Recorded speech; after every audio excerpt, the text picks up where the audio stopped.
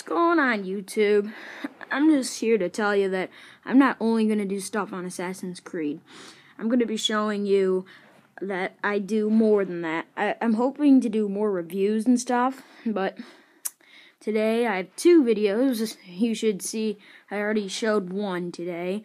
Um, this is going to be a comparison of the PlayStation Vita and the 3DS.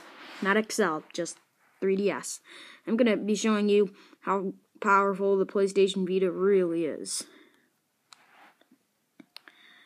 On the PlayStation Vita, I'm going to be playing Killzone Mercenary. I'm going to just be quiet and let you watch the thing. Sorry for the light. It's kind of in the way here.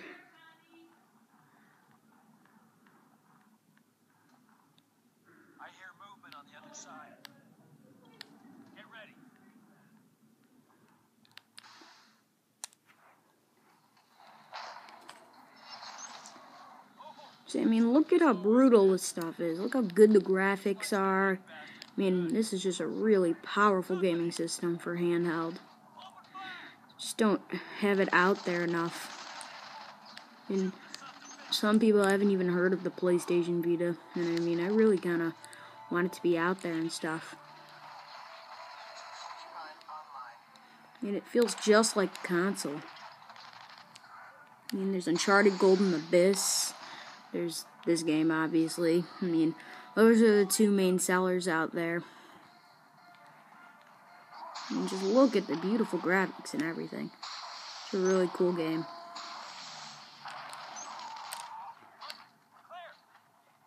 Yeah, the story mode is a little short on this. But, let's see here.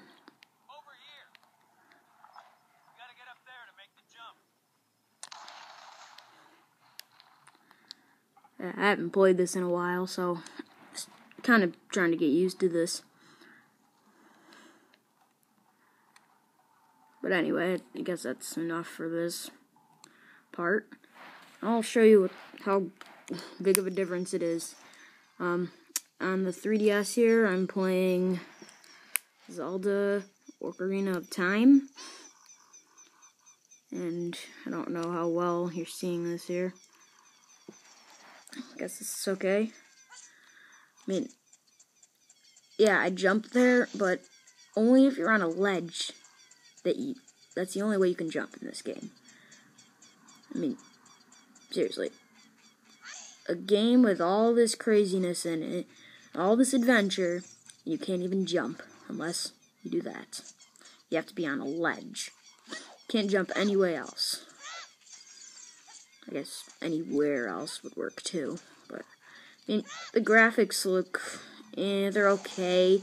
But I mean, this is apparently like an amazing game for the 3DS. But comparing it to what I just showed you, the PlayStation Vita, I mean, this doesn't even compare. I, mean, I can't say it enough, but PlayStation Vita just is like the best. I mean, the graphics are really clear. Um, the game performance is so much better. I mean, I'm just throwing rocks. I mean, I guess it's not a fair comparison because this isn't a really a first-person shooter game, FPS, whatever you want to call it. But still, this is like the top game. I've played Modern Warfare 3 on the DS, and really, it's really, really lame game. I don't know what they were trying to accomplish with that. I mean, there's Assassin's Creed 3 Liberation for the PlayStation Vita, and there's um, Assassin's Creed 2 for the 3DS, I mean, for the normal DS, which I just play on this, but it's really, it's not comparing to the PlayStation Vita. It's not an open world or anything, but I won't go into deep comparison with deep, whatever you want to call it, into that. I mean, now I'll just show you, like, difference in the looks.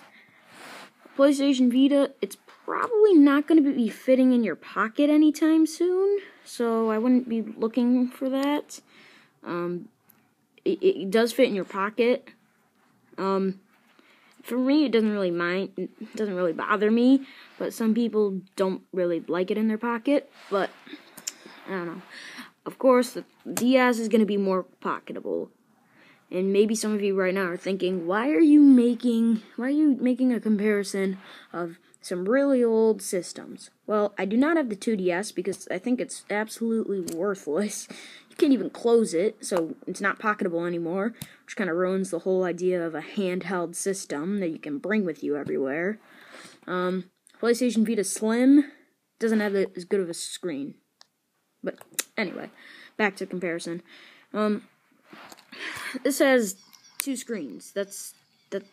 I have to give props to um, Nintendo for that. This only has one screen, but it just looks way better. It's just way, way better. I mean, it's just really something else. Show you here. I mean, look at that. Whoops. I mean, the colors changing and everything. It just looks way better. Um, but now, in terms of prices, you can probably find this right about now for um like a hundred bucks probably, because it's an older system. Let's see here.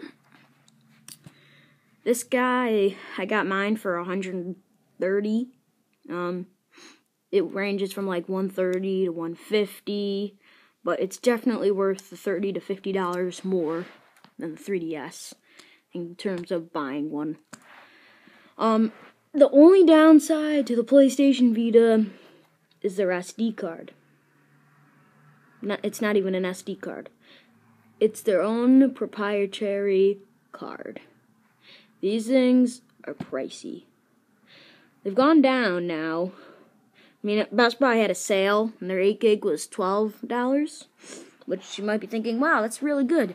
But their, but their um, 32 gig is 80 bucks. $80. You go to Best Buy for um, an SD card 32 gig. Hmm, let's see here, $22. Look at that difference. I mean, nobody's gonna pay 80 bucks for a 32 gigabyte card. I just find that crazy. I don't know what Sony was thinking when they did that. Um, but you you can't just choose this one because of one bad part of this. I mean, there's two joysticks on this. There's one on here. The arrow pad is so much better than this little arrow pad. Um, there's the A, Y, A, I mean the X, A, Y, B buttons on here. Triangle, circle, X, square. I mean, they're, they're pretty similar. Um, pretty similar. Not much difference here. I, I just prefer the PlayStation Vita. It's just like way more powerful, and I definitely recommend this over the 3DS. I know I've seen other reviews of people just going with the 3DS instead, but I- have got to give it to the Vita. Well, tell me what you think in the comments. Like, subs- comment, and subscribe. See ya.